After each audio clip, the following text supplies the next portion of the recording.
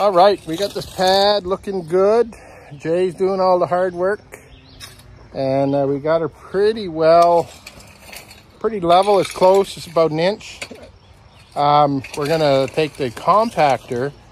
Did I tell you about my compactor? Let's go look at this compactor. Last fall, I bought this compactor from TMG and I was looking at buying a compactor and I bought this one here. It goes on the end of the machine and I don't have to lug or pull and get vibrated all the pieces and it works pretty good. I've done a couple of jobs with it. It does slopes. I'll add some video of some other stuff. Uh, a garage pad I did and I did some slopes. So you can check that out. I'll add some of the video.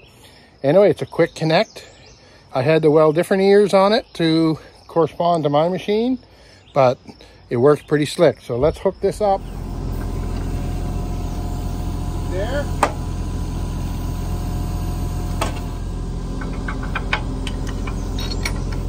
And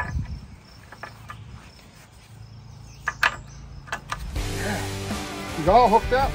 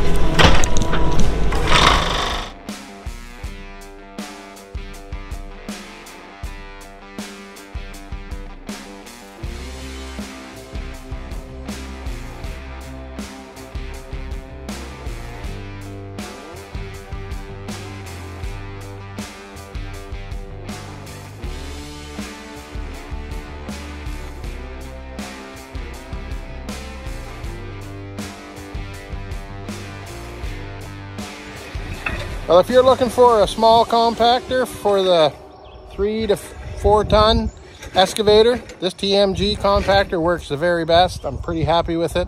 And you can do a lot of different functions. You can do slopes, side hills. You can even drive post with it. So if you're looking for a compactor, I would suggest this one.